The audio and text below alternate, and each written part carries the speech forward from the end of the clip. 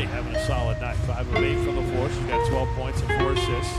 Now, Mercury trying to get a steal, almost forced a loose ball.